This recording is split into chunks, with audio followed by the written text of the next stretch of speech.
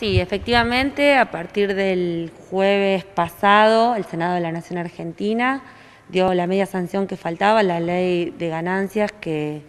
prevé aumentar el mínimo no imponible para los trabajadores, que beneficiaría a casi 1.200.000 trabajadores y jubilados de nuestro país. En nuestra ciudad serían alrededor de 3.400 trabajadores y jubilados que estarían recibiendo este alivio fiscal que viene a recomponer el salario que tanto hemos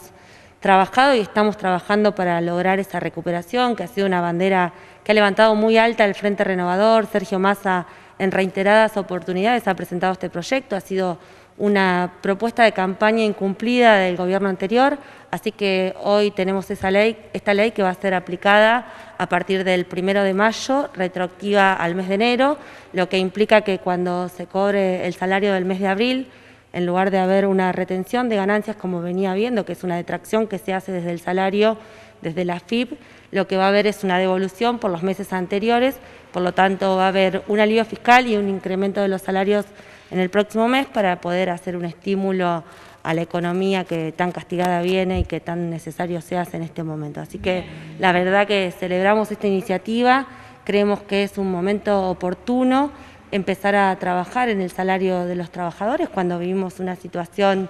que no se puede negar, donde la verdad que hoy el costo de vida ha aumentado y esto es una reparación y un compromiso que había asumido el presidente Alberto Fernández y hoy es ley y va a ser cumplido en nuestro país como, con el valor que tiene la palabra. Bien, cuando vos me hablas que ahora se va a ir devolviendo cuando se cobre el mes de abril retroactivo a enero, ¿se va a devolver de una sola vez o va a ser progresivo? Sí, en realidad la idea es que se devuelva de una sola vez y que se deje descontar, lo que implica, la verdad que una buena noticia para este momento que nos toca vivir.